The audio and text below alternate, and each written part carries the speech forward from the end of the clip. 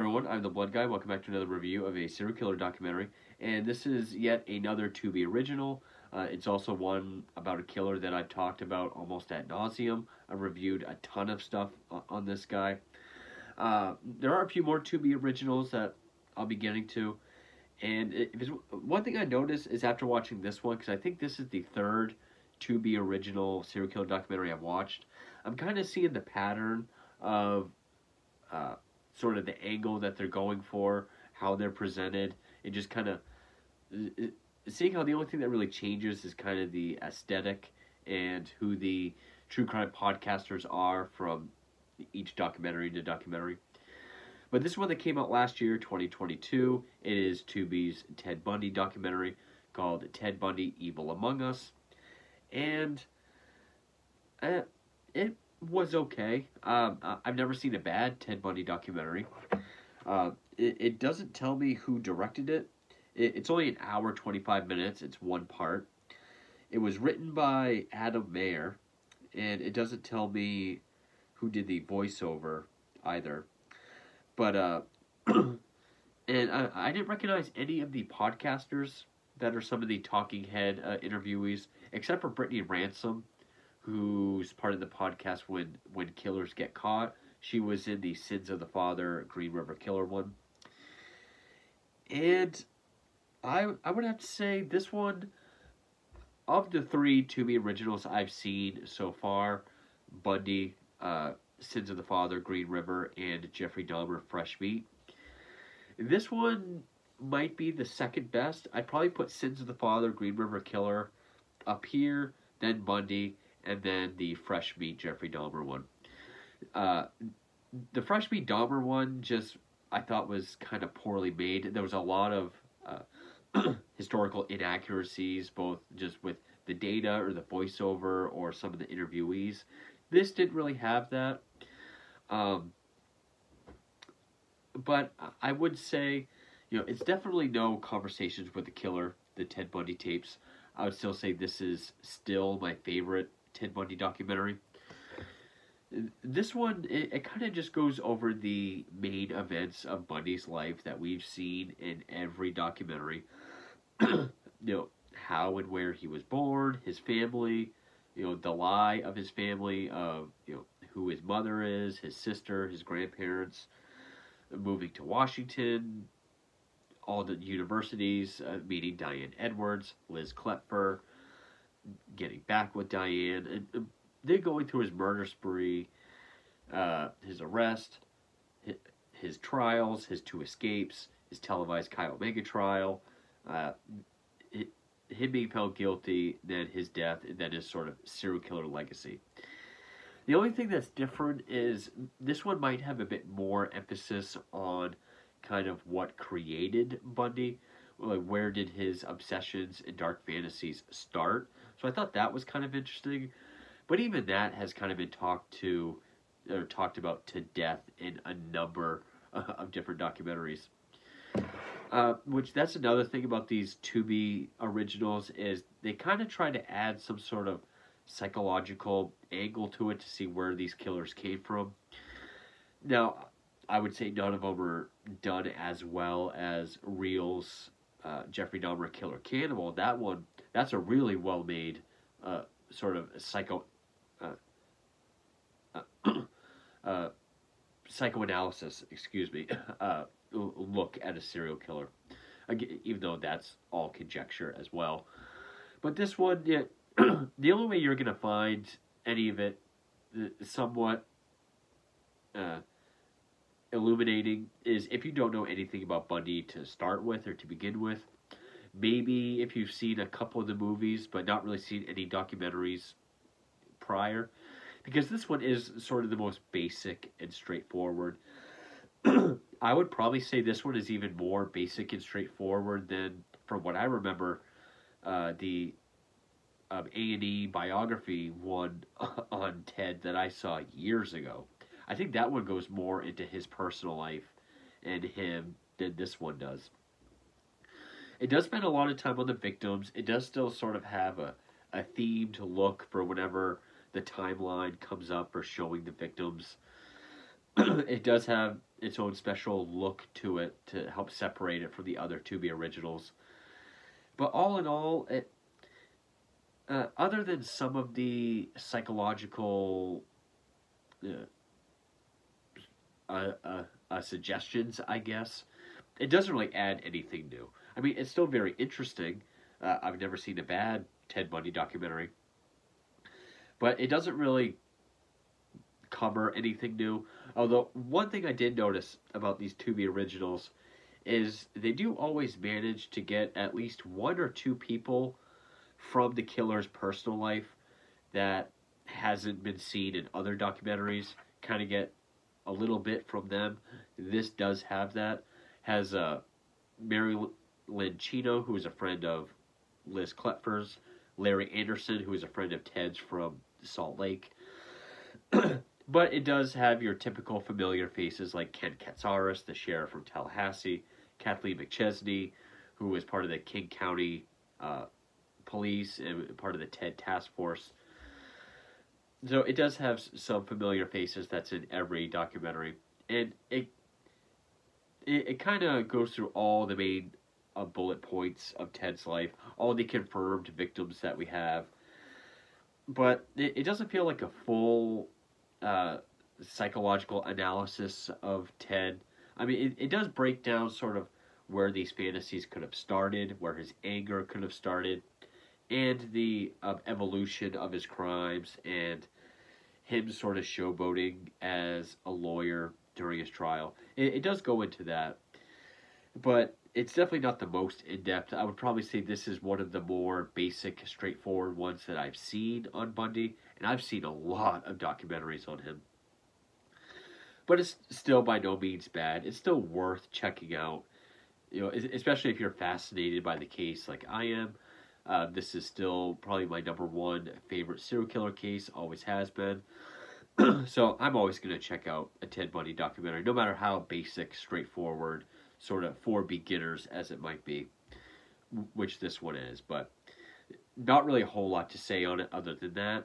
So I guess we'll go into the short killer summary and then uh, sort of the list of everything that this covers. I try to make it short, but it's an hour and a half documentary, and I find everything interesting. So bear with me on that. And so can still recommend it. Just don't really expect anything new to be uncovered in it, especially if you've already seen stuff like this and Falling for a Killer. So, so yeah, now we'll get into that. Ted Bundy is considered to be the most notorious serial killer in American history, killing at least 30 women between 1974 and 1978 across seven states in the Pacific Northwest and Florida. He only confessed to 30 just days before his execution on January 24, 1989. We'll never know the true number or the true time of his spree, as there's some speculation of him murdering and at the very least assaulting as early as 1961 at the age of 14. Bundy, known for his good looks, being nicely dressed and charming, preyed on the kindness of his victims, often wearing a cast and a sling on his arm or on his leg and hobbling on crutches and looking as if he was struggling or asking for help. When the victims got to his car, which was a, a Volkswagen Beetle, he would bludgeon them unconscious with a tire iron or a crowbar, put them in the front where there was no passenger seat, and take them to a remote era, area, sexually assault them, and then bludgeon or strangle them to death. He decapitated at least six of them and saved their heads leaving their corpses for the elements to destroy all evidence. He started out sneaking into the homes of his victims, knocking them out, then abducting them, but as time went on, he got more brazen, even impersonating an officer and abducting one from a Colorado ski resort, and on July 14, 1974, abducted two separate women, Janice Ott and Denise Naslund, four hours apart from the Lake Sammamish State Park in Washington. After an estimated 15 murders, Bundy was pulled over for speeding and his quote kit was found in his car, leading officers to put him in a lineup for the failed November 8, 1974 abduction of Carol DaRonch. After she identified him, it led to the first of many trials, and all states were connecting their Ted murders. Bundy escaped custody twice. First, he jumped uh, out of a second story courthouse window on June 7, 1977, and was free for six days, and then shimmied through a light fixture in his cell on December 30, 1977, where he was free for 46 days, made it to Florida, and killed two and wounded two at the Chi Omega sorority house on January 14, 1978. The same night, he would go six to eight blocks away and brutally attack Karen Chandler, who also survived. On February 9th, he killed 12 year old Kimberly Leach. He was stopped again on the 15th and was brought back to prison. His murder trial was the first ever to be televised, and he made it a circus, being, uh, being his own attorney. He was found guilty and sentenced to death. He made several appeals on death row, and in a last ditch effort to save his life, he confessed to 30 of the murders. He was still executed on January 24, 1989. Aside from his handsome looks, intelligence, and charm, he was also a law student, was active in politics, and dated his longtime girlfriend, Elizabeth Klepper, for six years, from 1969 uh, up until his arrest. In the years since his death, people have been uh, fascinated by Bundy, including the FBI and is a key figure in how profiling and behavioral sci- behavioral analysis was retooled in the 1980s. Many books, documentaries, and films have been made about Ted. even nine actors have now portrayed him thus far. So we'll go into what the documentary actually covers, and uh, the podcasts or podcasters that are featured uh, from True Crime Obsessed. We have Gillian Pensavalle and Patrick Hinds. from Sinisterhood, there's Christy Wallace and Heather McKinney. And When Killers Get Caught is Brittany Ransom, which I, I remember her from the Sins of the Father, Green River Killer uh, documentary. I think her and I want to say Patrick Hinds from True Crime Obsessed are, are, the ones that speak the most. I think they're the ones that kind of carry us through the documentary the most, uh, aside from all the people that's actually part of the Ted Bundy story like uh, Ken Katsaris, uh, Kathleen McChesney, some of the same people that's been in a lot of other documentaries. And the psychiatrist featured is doctors Judith Joseph and Tristan Engels. Uh, just so I don't have to put what they say or anything, but they're they're all featured prominently uh, throughout the documentary. So first it goes into Ted's childhood with Louise being 22 when he was born, extremely religious household, sent to a home for unwed mothers. Her father stopped her from putting him up for adoption and you know, took him in or took them in. Uh, this was in uh, Philadelphia. Uh, Stephen Michaud, who wrote uh, with the Killer and The Only Living Witness, along with Hugh Aynesworth, uh, he also talks about this. We get photos of him as a baby and a young child, Louise, and their home. It goes into to the possibility that uh, her father, Stephen, uh, uh, possibly assaulted her, and that Ted is the product of that assault, which, of course, that has never been proven. Uh, the lie of Louise being his sister and the grandparents being his parents. Uh, the abusive man that his grandfather was how he was seen to be bright but disturbed. It, it tells the story about the aunt that was babysitting him, fell asleep, woke up with all the knives around her pointed at her, with him just standing there when he was like three or four. How he probably always felt unstable and rejected. Shows photos of him as an older child, and, uh, also in the scouts and in school. Uh, then we go to 1950 when Louise takes Ted to Tacoma, Washington. Uh, met and married an army cook named Johnny Bundy. Uh, the photo of it shows a photo of him. Goes into how they had four more kids uh, uh, together. Uh, shows family photos. Him being a loner in school, not good at sports or fitting in, or being able to connect with other people. His teen interest in pulp and detective magazines. Uh, uh, they were introduced to Kevin Sullivan, who's written, I think, at least six books on Bundy. I think I have three or four of them. Uh, he talks quite a bit throughout it. Uh, he goes into this uh, as does Stephen Michaud. Then it goes into uh, how these magazines mixed sex and violence and were found near or with pornography, like at the bookstores and grocery stores, and how this could have helped to develop his sexual deviance, how his dark fantasy started growing around this time. It, in admittance from later in life that he used pot and booze to help numb uh, the fantasies. It goes into his uh, early days of being a peeping Tom. Uh, one night he gave in, walking home drunk. He came up behind a woman, clubbed her, and then ran away. Uh, the theory that this was him testing to see what it was like and if he actually liked it. Uh, graduates high school in 65, shows his graduation photos.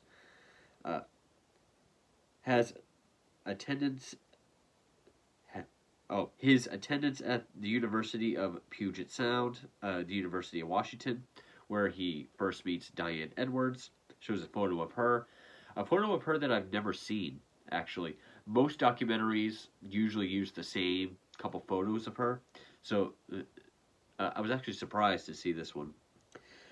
So then it goes into Diane, uh, her wealthy background, how they met, started dating, how he fell crazy, madly in love, but also he loved status and she came from a great background, the kind of status that he wanted.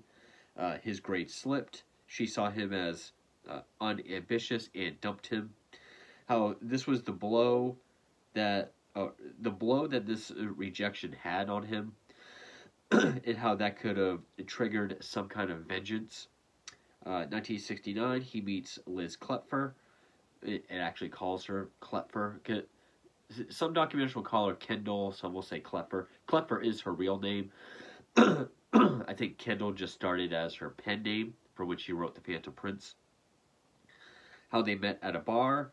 We're introduced to uh, Mary Lynn Chino, who's a former friend, on Ted sitting alone that night with a dark, mysterious look.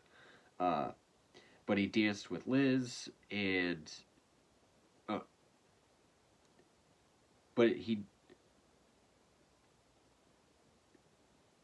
oh but how Liz danced with and left with Ted. I swear the the autocorrect on this I, I really need to start proofing anymore. Uh, they start dating photos of them together how perfect their relationship was how he was her prince. Um, Ted being shown love like he's never seen. Uh, in 1970, he re-enrolls in the University of Washington to finish his uh, degree in psychology. Uh, using this while working at the suicide hotline in Seattle, uh, Stephen Michaud on Ted telling him he did best when it was a, a women who called. How saving or taking lives tapped into his sort of God complex how he worked on the Seattle Crime Prevention Advisory Commission, uh, what he learns from this, uh, which was how police look into crimes, how jurisdictions don't usually communicate. And in 1973, rolls into law school at Puget Sound, but isn't focusing on school and he's not doing too well. uh, so then, January 74, drops out of Puget Sound, says he's too focused it says he's too focused on his dark urges and is ready to act on them. It very briefly, briefly mentions how he and Diane got back together. He won her over, uh, so much so that they talked about getting married. She accepted, and then he just dropped all contact with her. Uh, and then, you know, when she finally got a hold of him and asked him what was up, he said, I don't know what she's talking about, and hung up. And how dumping her was sort of that his way of one upping her, kind of proving to himself that he could have her if he wanted, but also that breakup, or him finally getting that revenge on Diane, is sort of what sparked his spree. So, very briefly, uh, uh, goes into that. Uh, it actually doesn't mention how they got back together for a period while with Liz. Uh, then uh, uh, broke it off by 74 uh, just before his known first attack, which was January 4th of 74 at 12.03 a.m. at the University of Washington, Seattle. It, uh, the, the attack and surviving of Karen Sparks. Shows a photo of her. She was a dance student at University of Washington. How he probably picked her while peeping uh, for a period. He picked up a metal rod uh, that was, uh, I think, a piece of her bed frame. Uh, bludgeons her with it and sexually assaults her with it. Shows a photo of. It, this is kind of how they do their timeline, or like the photo after each victim, and then a timeline at the end. Photo, it says victim number one, name, age, and date. So, uh, it, it says that, and how she was in a coma for, which her age was 18 uh, how she was in a coma for 10 days and suffered brain damage. Uh, I think this is the first time that the psychiatrist, uh, Judith Joseph, comes in. How his whole life had led to that moment, so it's going to be messy. He's finally giving in and he's going to enjoy it. Uh, he keeps his cool for four weeks and then goes back to the university. Uh, Kevin Sullivan on the attack of 21 year old Linda Ann Healy uh, choking her unconscious. And then it goes into how he's evolving as this kind of predatory criminal. Uh, showing his level of intellect and planning uh, by taking off her nightgown, hanging it in the closet, grabbing street clothes, putting those on her, and then uh, making her bed. uh, and then abducting her, driving her an hour away to the Taylor Mountains to rape and kill her. It shows her on the timeline. Uh, and, and then this is, I'm not quite sure why because it doesn't really uh, uh, distinguish between survived and murdered. Just it just says victim number. So like Karen Sparks, Carol DaRonch, Kathy Kleiner, Karen Chandler, they're all victim numbers, just as the uh, the uh, murder victims so uh, I always thought that kind of threw it off. I, I feel like it could have said survived instead of a victim number, but uh, Kathleen McChesney, who who was at the time a detective of King County, on how Healy was well known as a radio ski report announcer, so her her disappearance was noticed. It shows a map of the locations of the first four murders it goes into the fourth attack, which was Susan Rancourt. Susan Rancourt, excuse me. how, how there were witnesses uh, seeing a good-looking guy with his arm in a sling, and wondering if if that was connected uh, to Rancourt. Uh, his mo is now luring instead of uh, breaking and entering. He makes himself look weak to appeal to the kindness and vulnerabilities of others. It says, like Linda and Donna before her, Susan is taken to the Taylor Mountains, but Donna Manson hasn't been talked about yet, so I thought that was kind of strange. Uh, how he'd return to her body over and over, uh, necrophilia being the ultimate form of control and power, because they can't fight back, they can't say no, and compares that control to when Diane dumped and uh, rejected him. So then he goes to Oregon, feeling Seattle is too hot at the moment.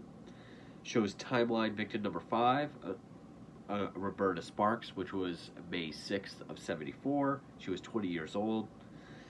Uh, she fell for the man in a cast ruse, how his crimes are ramping up, his victim profile, which every documentary says this. Young, pretty, dark hair parted down the middle, uh, even mentions how one time Liz wanted to uh, cut her hair and then he freaked out because he didn't want her to change it.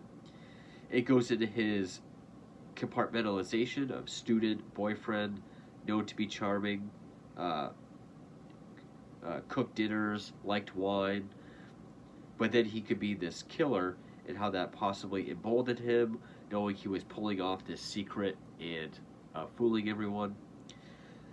Kevin Sullivan on Ted trying to uh, bring those sexual desires to Liz, such as anal sex, which she was not into.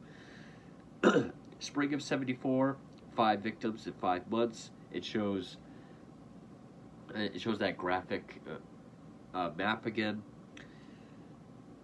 Uh, it then goes back to Seattle. 22 year old Brenda Ball leaves the Flame Tavern, starts hitching, fell for the man in the cast routine. Then it shows her on the timeline, which was June 1st of 74.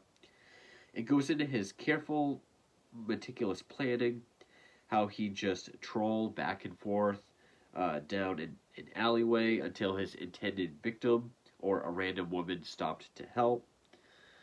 Uh, it, it, in, uh, in this particular case, Georgann Hawkins shows a photo of her.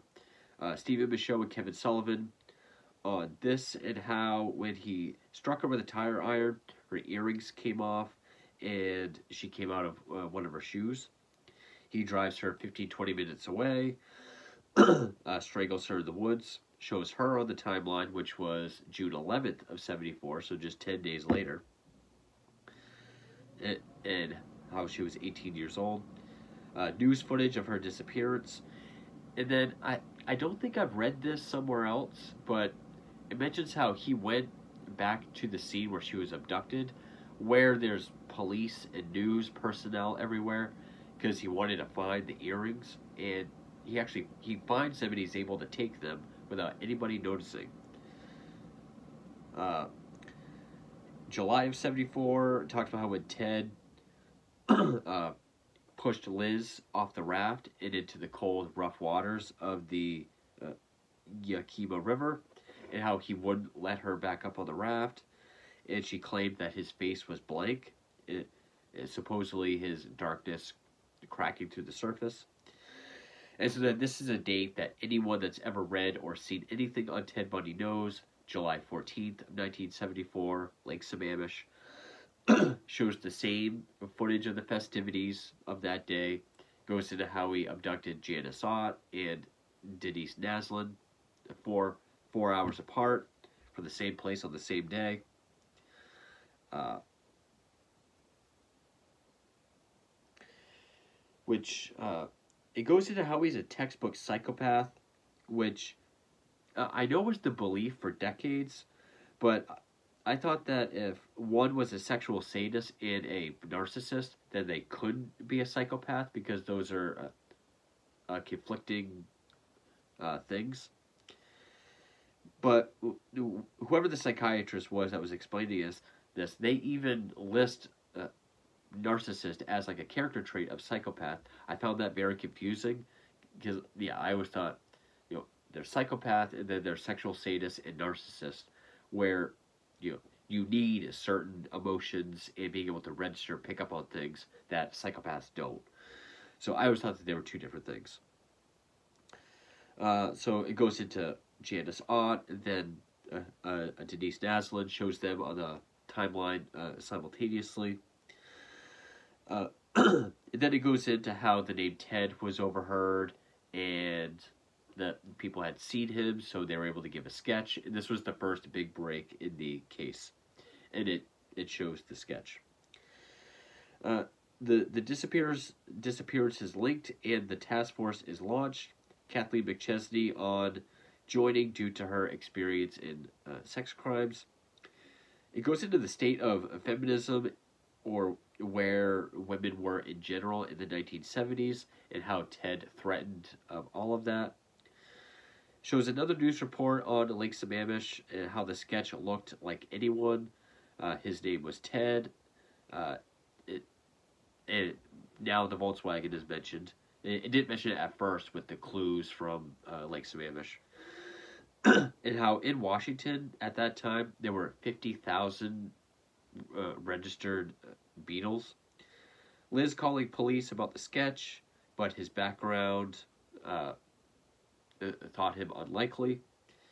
Uh, how she found things like a bowl of keys, women's clothes, and plaster of Paris in his apartment. Calls again, but they still don't think it's him. Uh, on top of getting countless tips uh, from jaded girlfriends, uh, they, they don't think it's him because of his background, on top of getting a bunch of jaded girlfriends calling in.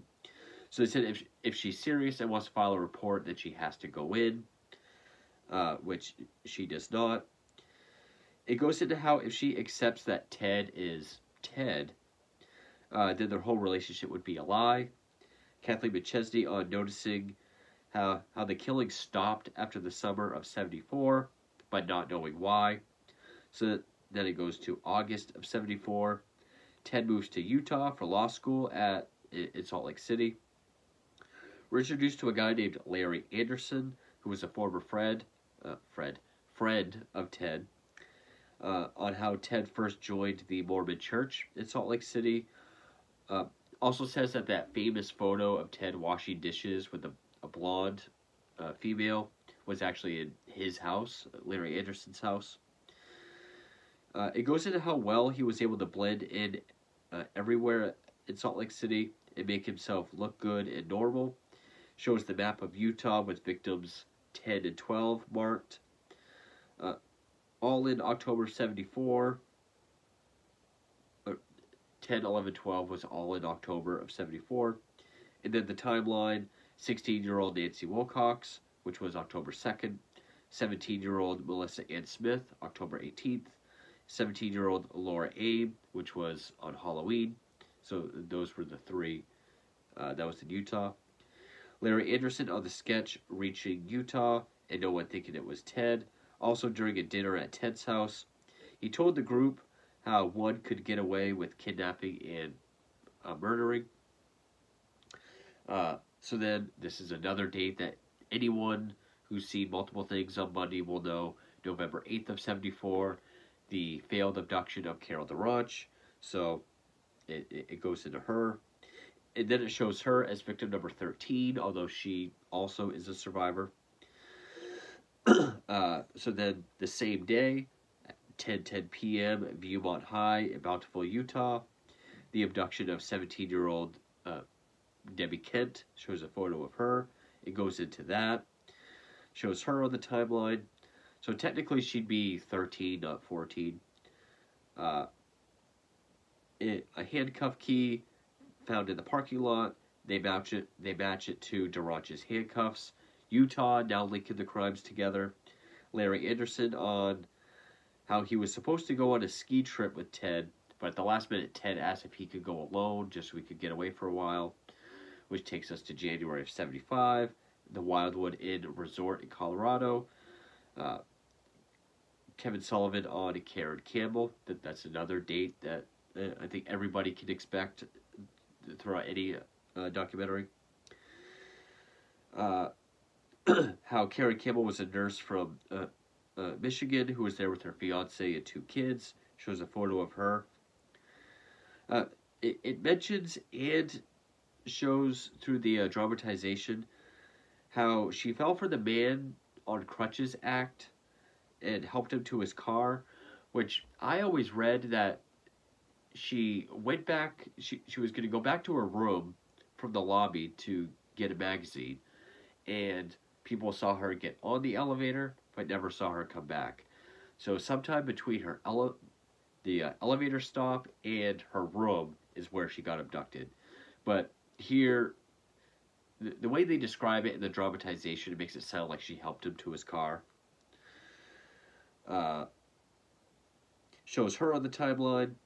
So now under uh, 1975, because it goes by year as well, uh, number 15, which was 14, uh, January 12th, she was 23. Uh, how she was found a month later. Julie Cunningham shows a photo of her. How she was going to meet friends at a bar in Vail, Colorado. Uh, again, the uh, man on crutches. Timeline it says 16, but I guess she'd be 15. March 15th, she was 26 years old. How Ted kept up appearances in Utah, whether it be school, friends, politicians. Uh,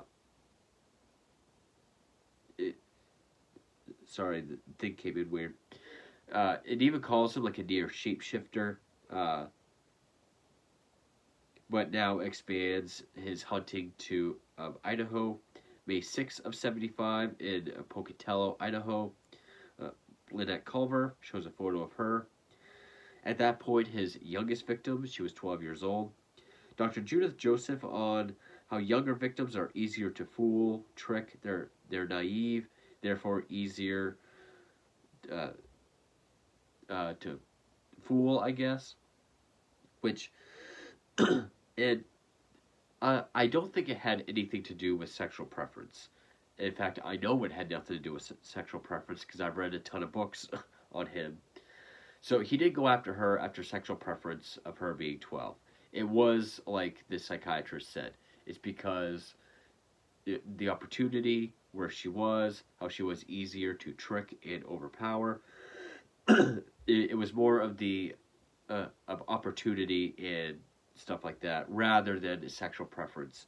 And that's not opinion, that is objective. So any anyone that disagrees is wrong. It's the same with the Hillside Stranglers and with their 12 and 14 uh, year old victims. It wasn't because of preference, it was because they wanted a victim and they were available. So, uh, opportunity can some a lot of times overrides the uh, sexual preference. But shows her on the timeline, which was May 6th of 75. Uh, then Susan Curtis in Salt Lake City, July 27th of 75. She was 15. It this part of the documentary does get kind of repetitive because it is it, goes from one victim to another, it, which that's kind of all we know. But instead of like his life and stuff like that, it, it just kind of goes from one victim uh, to the next. uh, August 16th, 75, uh, Salt Lake City, uh, which that's another date everyone knows where he got pulled over. The officer was searching his car, found his kit, and uh, arrested him. Oh, uh, shows photos of that. His arrest, it shows his first mugshot, which is the one where he has like the longer hair, the black sweater. Utah officers think he may be Ted. Larry Anderson on when Ted called him as his one phone call and didn't believe him and tried to say that they made a mistake and he would not do this. Uh, the search of his apartment, photos of his apartment, how they found brochures of ski resorts and the programs of the play where Debbie Kent was at her school. Although, when they say Debbie Kent, it shows a picture of Lynette Culver. Uh, and also gas receipts, placing him in the areas of some of the abductions, such as Car- uh, Carrie Campbell. Larry on how he visited him shortly after and asked if there's any possibility that he did this. And he vaguely admits, if I did, this is how uh, uh, I would do it. And from that point on, he dropped all contact. His $50,000 bond and be under investigation. Kathleen McChesney on reaching out to Liz to learn more and how she helped. It shows the lineup for Carol DaRonch uh, uh, with the uh, photo. It says how she pointed him out immediately, but I've also read in other sources that she kind of struggled to point him out because during the abduction he had a mustache and before the lineup he shaved and combed his hair differently. Uh, Ted selling his Volkswagen, but they were able to track it down. They searched it and found hairs from three victims from three different states, so no way they would know each other. Uh, and that also helps connect uh, uh, uh all the states. Uh, Larry Anderson on finding this out and becoming convinced that Ted is a killer. And then he goes directly from there right to his first escape, which was June 7th of 77. Says on the screen, Pitkin County Courthouse in Aspen. Uh, Ted's first escape from the courthouse second story window goes into that. Uh, he was already found guilty in the DaRonch case. Uh, this whole part of the documentary like breezes through. Uh, he escapes. He's caught again. Um, uh, photos and footage of the courthouse. Free for six days. Stole a car. Pulled over. Then arrested again. Uh, then it goes directly from that to December 30th of 77. Uh, Garfield County Jail in Glenwood Springs, Colorado. His, his uh, second escape uh, uh, mentions how it was through a, a broken light fixture. It, it gets a hacksaw blade, cuts it open, loses 30 pounds so he can shimmy through. Mentions how it was between Christmas and New Year's, so most guards were gone. Uh, it shows footage of his cell, the hole in the ceiling. Uh, go back to Marilyn Chino on the fear of him coming back to Salt Lake City.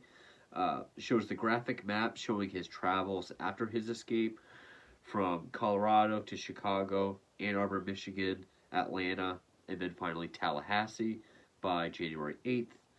Then it goes directly to January 15th of 78, Chi Omega Sorority House.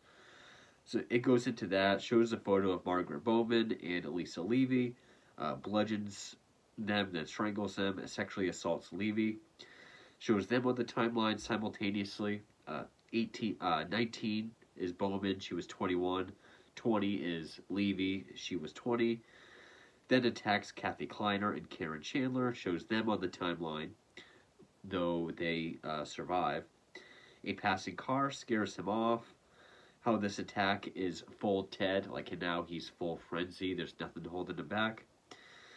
then we're introduced to Ken Katsaris, a former sheriff of Tallahassee. And from what I've gathered, he's in like a lot of Ted uh, documentaries. He seems to be like Ted Bundy's arch rival he seems to be the one that they've had the most kind of like cat and mouse. Which I was surprised because it doesn't have the uh, of I'll plead not guilty right now of, of footage or or any of that. Or really Ken Katsaris talking about how he got the teeth molds made and the back and forth between them on that. Uh, but Ken Katsaris on how Tallahassee had had a major murder investigation since 1966. How Nita Neary saw the attacker attacker flee the house. It makes it look like she had been hiding, when in reality she had just come home and they uh, passed each other. um, uh, a photo of her on the stand. Uh, how he has gone from being uh, meticulously planned, calculated, uh, with no evidence or witnesses to sloppy, rage-filled attacks. Then it goes into the attack of Cheryl Thomas that same night, uh, a few blocks away. She survives. Photo of her on the stand, and of her window that he came through, along with uh, some evidence that was found. So we go to February 9th of 78 in Lake at Lake City Junior High, which was 100 miles away from Tallahassee. The abduction of 12 year old Kimberly Leach shows a photo of her. How we lured her away, possibly due to not being able to lure, uh, you know, of age, uh, uh, excuse me, not being able to lure uh, older women away the same way that he used to be, or be uh, used to be able to. Excuse me. Shows her on the timeline. Only she's credited as or listed as victim number 24. But as far as like murder victims go, I think she'd be number 20. Uh, one of the podpast, podcasters calls it pedophilia, and again, I do uh, disagree with that. Pedophilia is the attraction to children. Uh, there's a psychological difference when the perpetrator is opportunistic, as it's not based on the attraction, but what they can get away with. And again, that's objective, that's not opinion. February 15th, 78, 1 a.m. Uh, his uh, his last pullover, stolen VW, uh, would would when arrested, he fought back but was subdued. It goes into that. Uh, they ran the plates and saw it came from the same area as Chi Omega. Now he's a suspect. Uh, he wouldn't give his ID, but they were able to match uh, his prints and saw that he's Ted Bundy. doesn't really go into the uh, Florida Mystery Man, which all of this was because he he went quite a bit or quite a while with not giving his identity, it became a big story. So it doesn't really go into that that much. Uh, uh, saw that he's Ted Bundy, one of the FBI's top 10, which it shows that poster. Ken Katsaris on the special steel lined cell he was placed in, and the rule about there being three locks with three keys, uh, one of which given to three different officers. And if at any point one officer had all three keys, then they'd be fired. um, and, and then it shows uh, footage of that special cell. Ted reaching out to Liz has audio of the call between Liz and the investigators from February 21st, 78, about his call to her. June 79, Chi Omega trial begins in Miami.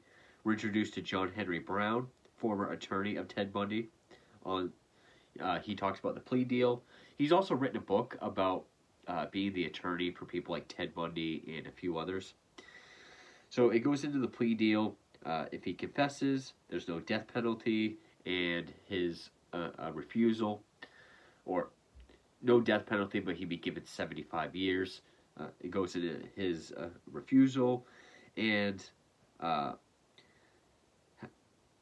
the two psychiatrists on the idea of how he refused and is his own attorney is his way of knowing he'll never get to kill again, maintaining some sort of control power, wanting to maintain the image of himself that he wants, and to see how far he can keep uh, what he wants going.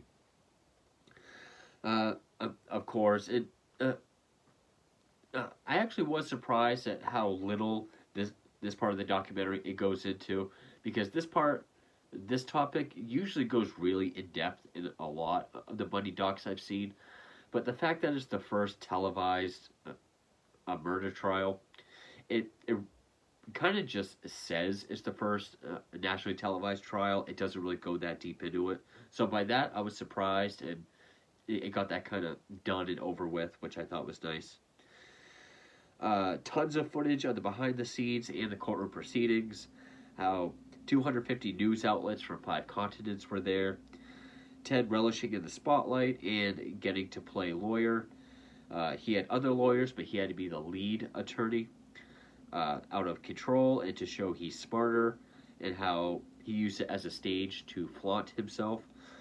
uh, him calling witnesses uh, shows footage of Cheryl Thomas being questioned by him. We're introduced to Bob Dekle, the former uh, assistant state attorney, on how Ted asked the uh, resounding.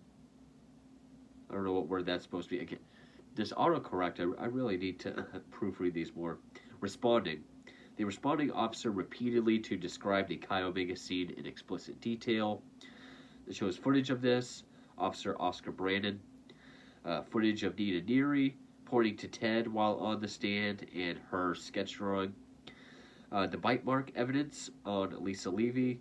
Uh, photos of the double bite mark, Ted's teeth and molds, and how this was uh, the smoking gun evidence, July 24th, 79. Verdict read after five hours of deliberation. He's found guilty. Pre sentence hearing. He attempts to prove that to, to DaRonch that she was abducted by someone else, but she doesn't back down. Footage of his uh, no sound, just video. Oh, it, it shows footage of that, uh, but it's no sound, just video and voiceover narration. Uh, he's found guilty. Uh, Larry Anderson again on how when you have a close friend that you trust and support, uh, then find out they're a killer, that feeling doesn't go away. He's 73 and still feels it, still talks about it, or still thinks about it. How he confessed to 30, but experts believe it to be much more, and he showed no remorse. January 23rd, 1989, Florida uh, State Prison, Stark, Florida. Uh, it, how he exhausted all appeals in 10 years, uh, according to a guard. Uh, according to a guard the night before, he seemed somber. He sat and cried, uh, refused his last meal, called his mother twice. Footage of his cell and the death chamber uh, the next day, he's executed by electric chair. Footage of the Burn Bundy Burn crowds outside.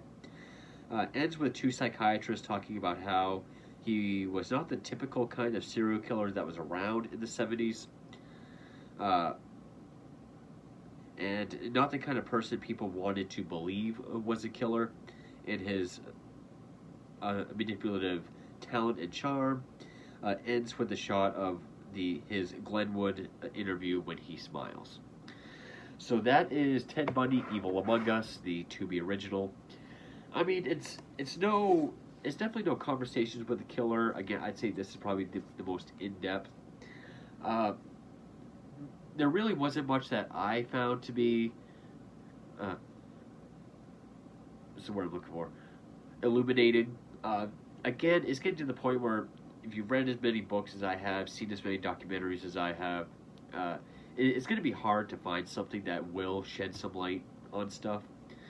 Uh, I, I still think this is the most informative, but again, that's not really the documentary's fault.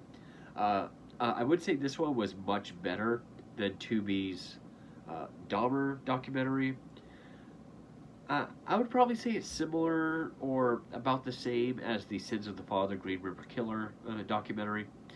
Except I would say this one has more of the kind of basic, straightforward, kind of run of the mill Ted Bundy documentary. So, I mean, if you're someone that doesn't really know a whole lot about Bundy, I would find this to be a very good sort of beginner's uh, documentary. It, it, would be a good place to start. It, it really breaks down all the essential uh, events in Ted Bundy's life and really just kind of breaks down all the known victims uh, that we have. It doesn't really go super in depth. You know, I would say Conversations with the Killer and Falling for a Killer, the uh, Liz Kloepfer documentary, those two were very informative. But yeah, I, I would kind of consider this a straightforward, kind of beginner's, basic kind of documentary. But by no means boring. Uh, I, I, this one didn't really have any, uh, I would say, historical inaccuracies like the Dahmer one did. Uh, it had a lot of similar faces of some other uh, Bundy docs, but it, it's still definitely worth checking out. Again, you might only find it illuminating or uh, a, a revealing if you don't really know much about Bundy going into it, but still fairly solid, still decent.